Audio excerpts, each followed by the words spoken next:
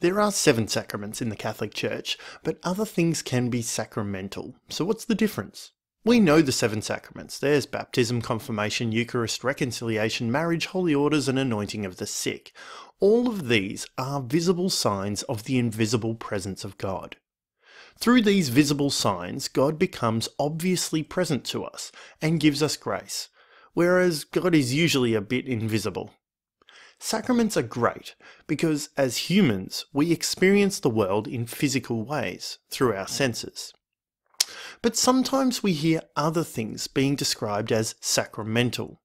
This either describes something used for a sacrament, like sacramental wine, or describes something that has the key characteristic of a sacrament, in that it is a visible sign of the invisible presence of God.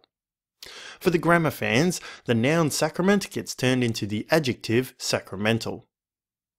A crucifix is a statue of Jesus on the cross. It's described as sacramental because it makes the sacrifice of Christ physically present to us.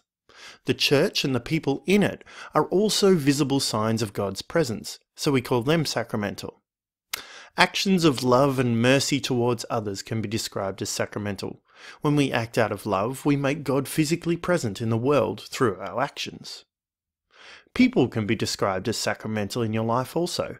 My mother always made the sacrificial love of God very present in our home, so I would describe her as sacramental too.